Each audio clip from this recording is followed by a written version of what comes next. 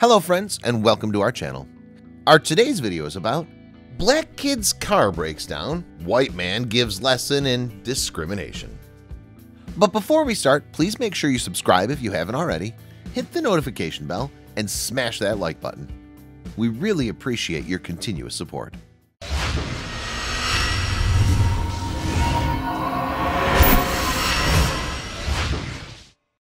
After spending four hours broken down on the roadside, a young black man was relieved to see someone pull up behind his car. However, as soon as the elderly white driver got out, he realized he was in for a lesson in radical discrimination he'd never forget. In today's deeply divided society, people are finding themselves avoiding engaging with others out of fear of offending or being offended. The media have pitted us against our fellow man, pointing out our differences in an effort to monger fear and hate instead of drawing us closer together. Despite the innumerous factors that can segregate us into identity groups, race is a particular divisive determinant. Unfortunately, it's often the first thing we notice, as was the case with a pair of strangers brought together by a troubling series of events.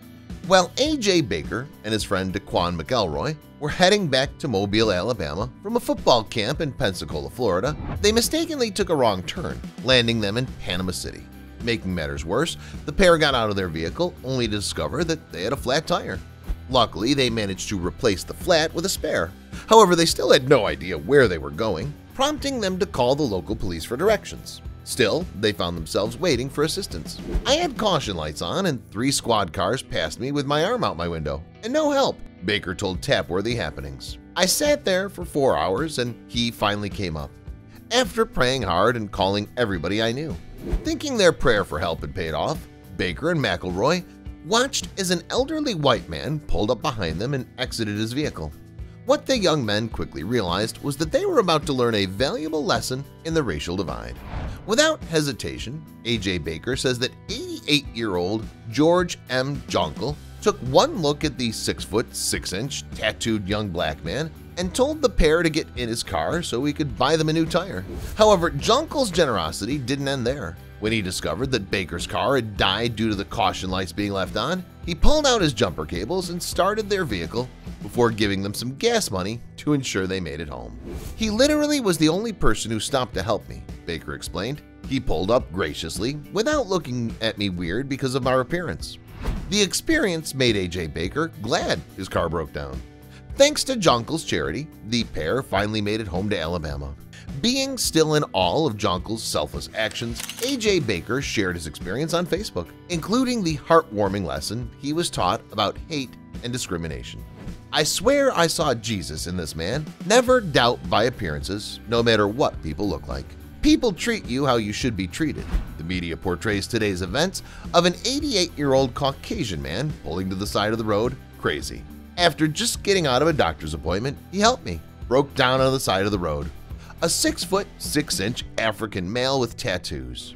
After 249 cars passed by, lol, I counted, calling all contacts, God comes out of nowhere, buys me a new tire and stands in the heat with no objection, no second thought. It would be hard myself to stop and help somebody like so, so I say let's be a better nation. No hate, all love. No discrimination from the jump will end in peace all day. Baker explained that, despite the nature of their meeting, he's glad his car broke down, as it brought Jonkel into his life. God was good, and we got home, so I had to post what the Lord is still doing in this world. He told Tapworthy Happenings. If we hadn't gotten lost, I wouldn't have never met him. I'm glad I did because it was a moment of humbleness and understanding. Because of George M. Jonkel's compassion and A.J. Baker's willingness to accept help, the pair unknowingly shattered the stereotypes that strive to separate them. Instead, they showed the world that they're merely human beings with similar struggles.